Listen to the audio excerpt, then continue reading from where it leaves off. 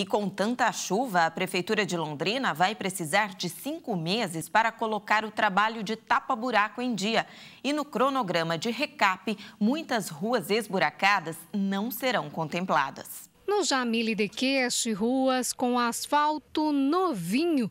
Nessa a diferença entre o que foi recapeado e não. Nesse primeiro lote, 22 ruas e avenidas vão receber o recap nas regiões Norte, Sul e Leste, com recursos do município. Os bairros beneficiados são os conjuntos Alexandre Urbanas, Jamile de Queixe, José Belinati, João Paz e Cafezal, e os jardins Mediterrâneo e Cláudia. Mas várias outras ruas ficaram de fora. A maioria vive num círculo vicioso. Abre buraco, tapa buraco, chove, abre aquele buraco e maior e outros vão surgindo. Na verdade, não é mais rua, né? Já foi um dia rua, agora não é mais. Depois da chuva, tem buraco que ainda fica cheio d'água. Nesse cruzamento entre as ruas Gilberto Camilo de Almeida e a Lourdes Martinelli, no Jardim Oriente, Zona Leste, os motoristas nem têm por onde escapar.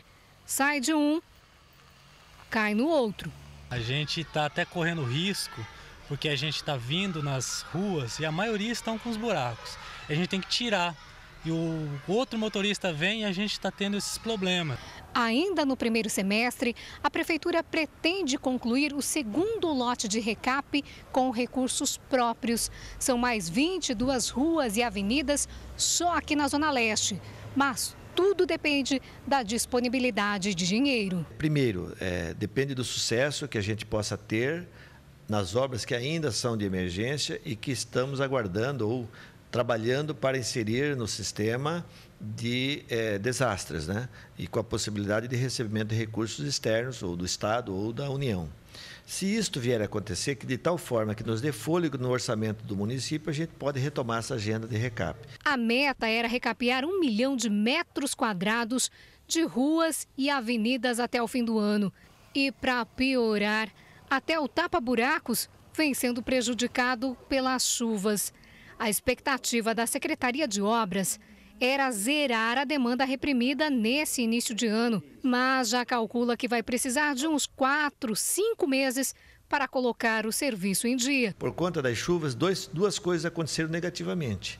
A primeira é que a chuva acentua e agravam substancialmente o surgimento de novos, novos buracos na rua. Né? Isso é, é, é evidente e a população tem essa percepção clara.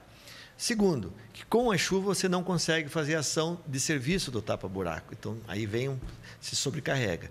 Então, quando nós temos aí um dia, por exemplo, nós trabalhamos é, uma hora, duas horas por dia, começa a chover, você tem que parar. Enquanto isso, moradores e pedestres esperam ansiosos. Nessa rua, por exemplo, a Doralice traz Bajo, também na Zona Leste, e que fica entre duas escolas e uma academia.